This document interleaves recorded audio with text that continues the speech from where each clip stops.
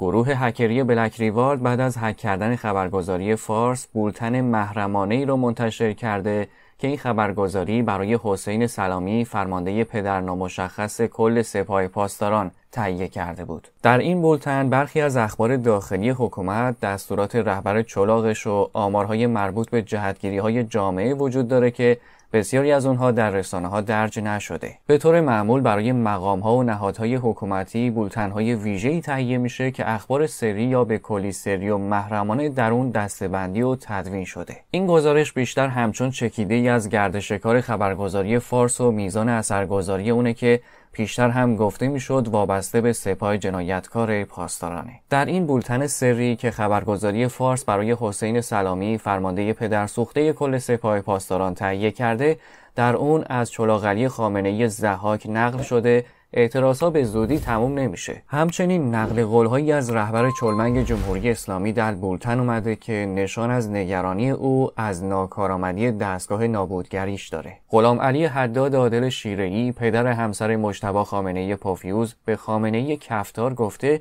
تنها یه جمعیت بزرگ می‌تونه اعتراضها رو جمع کنه و به نظرش بسیج ضعیف شده و توانش رو نداره. در بولتن سری فارس گفته شده خامنه پدر نامشخص در دیدار با حداد عادل پلشت و شپشو بهش گله کرده که چرا اصولگرایان و بسیاری از اعضای مجمع تشخیص و مجلس خبرگان و نمایندگان دولت در قبال اعتراضها سکوت کردن و حتی یه توییت نزدن. در عین حال این بولتن فاش کرده سران سه کمیته برای بررسی علل شکلگیری اعتراضها به ریاست غلام حسین رئیس پلشت قوه قضاییه راه انداختن. در بولتن سری خبرگزاری فارس اومده که سرویس اطلاعاتی روسیه به نقل از شنود دستگاه اطلاعاتی غربی گفته که مردم ایران در وضعیت انقلاب قرار گرفتن.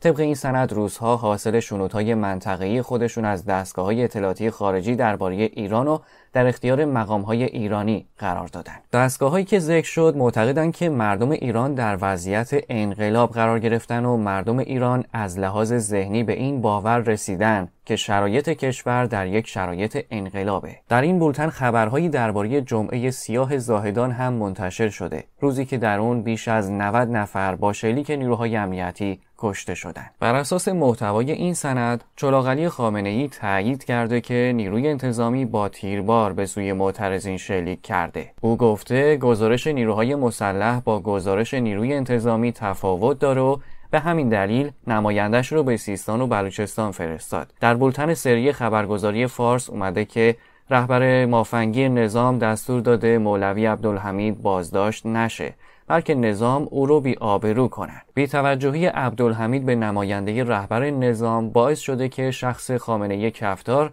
رهبر مذهبی مردم زاهدان رو تهدید به بازداشت کنه. در این سند اومده که علی گدا در دیدار با حسین اشتری فرمانده پلشت فراجا از او خواسته که به مولوی عبدالحمید هشدار داده بشه. در این بولتن نظرسنجی وزارت کشور هم اومده که بر اساسش 56 درصد مردم فکر می‌کنن اعتراض ها به این زودی ها تمام نمیشه. بر اساس همین نظرسنجی بیش از نیمی از مردم ایران معتقدن حجاب باید اختیاری باشه و کمتر از 14 درصد مردم اخبار صدا سیمای حکومتی رو صادقانه می‌دونن. در سه ماه گذشته مقام ها در تریبون های رسمی تعداد معترضان رو کمتر از چهل هزار نفر عنوان می‌کردن.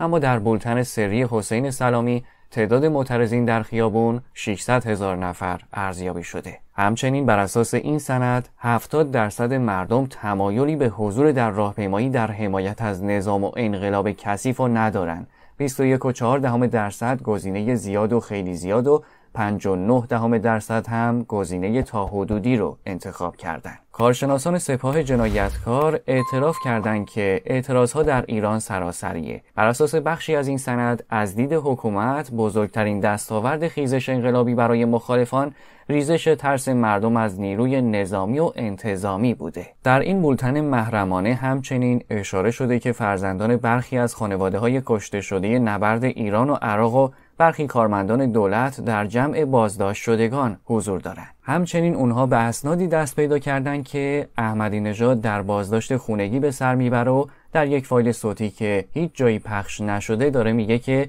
خامنه ای مرده و کسی که داره به جای خامنه ای صحبت می‌کنه بدلش و خود خامنه واقعی نیست در این سندی که هنوز افشا نشده مشخص شده که احمدی نژاد در حال تحریزی یه شورش بزرگ بوده اما به خاطر اینکه بازداشت خونگی شده نتونسته برنامهش رو عملی کنه. در همین راستا به نقل از کارشناسان اومده که اذهان عمومی و مردم متقاعد شدن که اعتراضها در کل کشور وجود داره و سراسریه. به گفته این کارشناسان تداوم خیزش انقلابی و افزایش تلفات نیروی انسانی ابهت و اقتدار نظام رو در هم میشکنه و بازسازی اون نیازمند زمانه. در این سند همچنین اشاره شده که برخی از مسئولان ایرانی مقیم خارج به مسئولان داخلی گفتن که در اذهان عمومی خارج از کشور هم این موضوع که نظام ایران به هم ریخت و آینده نامعلومی داره باورپذیر شده. بر اساس بخش دیگه ای از این سند محمد باقر خالیباف رئیس طویله مجلس به چلاغلی خامنه ای گفته که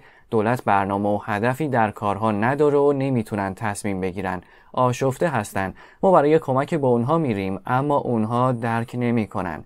خامنه زهاک بی برنامه و کند بودن و بی تصمیمی دولت رو تایید کرده. گسترش های محل محور در جریان خیزش انقلابی مردم ایران باعث نگرانی خامنه پدر نامشخص شده و بولتن محرمانی خبرگزاری فارس برای حسین سلامی پرشت و شپشو حاکیه که خامنه ای از سازمان تبلیغات اسلامی خواسته تا با شناسایی عناصر انقلابی در مساجد محلات و غیره یه شبکه منسجم و برای مقابله با تحرکات ضد انقلاب در محلات تشکیل بدن.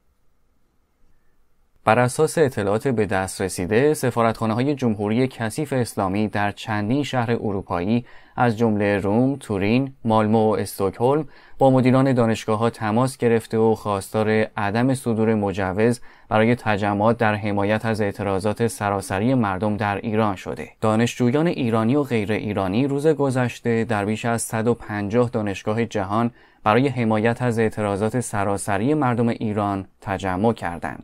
از جمله در شهرهای کلن، برلین، روم، تورین، تورنتو، فرانکفورت، پاریس و چند شهر آمریکا چند تن از دانشجویانی که در برگزاری این تجمع ها نقش داشتند در گفتگوی تایید کردند که از سوی سفارتخانه های کثیف جمهوری اسلامی چنین درخواستی از پلیس شهر و مسئولین دانشگاه طرح شده. پلیس اما در پاسخ به قوانین شهرهای اروپایی استناد کرده و گفته نمی‌تونه جلوی برگزاری این مراسم رو بگیره. بعد از آغاز اعتراضات سراسری در ایران، دانشجویان در بسیاری از دانشگاه های کشور دست به اعتراضات گسترده زدند. تجمع، تحسن، اعتصاب و سردادن شعار از جمله حرکت های اعتراضی اونها بوده. بیشتر اعتراض های دانشجویی در ایران با حمله نیروهای امنیتی و لباس شخصی به دانشگاه و خوابگاه روبرو شده و این نیروها برای متفرق کردن دانشجویان حتی از اسلحه و گاز اشکاور هم استفاده کردند. در هفته های گذشته فضای بسیاری از دانشگاه های کشور امنیتی گزارش شده و ورود دانشجویان به دانشگاه ها بعد از تفتیش به دست نیروهای حراست و لباس شخصی امکان پذیره. دانشجویان همچنین با استفاده از نام و عکس کشته شدگان اعتراضات سراسری به ویژه کودکان جانباخته سعی در رسوندن صدای اعتراضات سراسری ایران به گوش جهانیان داشتند. شرکت کنندگان در تجمع روز گذشته از نمادهایی همچون قایق به یاد کیان پیرفلک استفاده کرد و شعار زن زندگی آزادی و ترانه های اعتراضی سر دادند.